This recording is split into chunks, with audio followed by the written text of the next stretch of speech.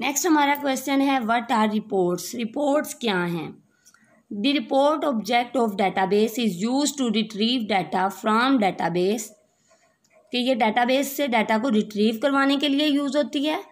And present it on screen in a formatted way और फिर इसे स्क्रीन पर प्रेजेंट करती है एक फॉर्मेटेड वे वे में मतलब कि ख़ास तरीके से। लाइक आप लोगों ने डिफरेंट मैचेस देखते हो, जब दो टीम्स का आपस में मैच हो रहा होता है तो जब दूसरी टीम खेल रही होती है तो वो मुआजना कर रहे होते हैं रिपोर्ट दे रहे होते हैं कि ये जो है हमारे पास फ़र्स्ट इस वक्त इस ओवर में इस टीम का रिकॉर्ड ये था और दूसरी टीम जो है इस लेवल पर जा रही है तो वो रिपोर्ट शो हो रही होती है। इसी तरह हम अपने ज़्यादातर डाटाबेसिस को बिज़नेस लेवल पे यूज़ कर रहे होते हैं रिकॉर्ड्स को मैनेज करने के लिए। तो अब बिज़नेस लेवल पे हमारा बिज़नेस अप जा रहा है या लो जा रहा है तो उसके लिए हम जो है रिपोर्ट देते हैं। हाई हायर अथॉरिटी को हायर पर्सन को। तो उसके लिए हमारे पास रिपोर्ट्स यूज़ होती हैं।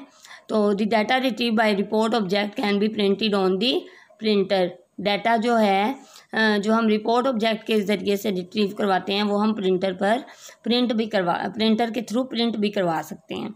नेक्स्ट वन है कि फॉर्म्स और रिपोर्ट्स में फ़र्क क्या है।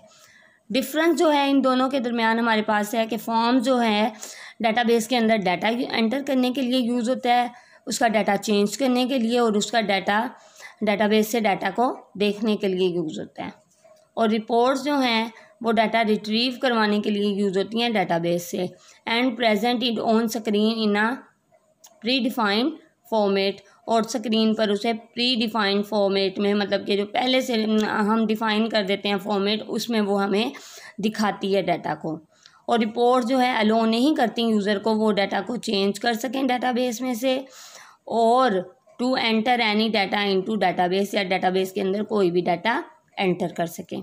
ये हमारे आज के क्वेश्चन हैं, जिनको आपने प्रिपेयर करना है। अगर किसी भी क्वेश्चन किसी भी तरह का क्वेश्चन है आपके माइंड में तो वो आप पूछ सकते हैं। इसके अलावा कोई प्रॉब्लम है डिस्कस कर सकते हैं। अल्लाह हाफिज़।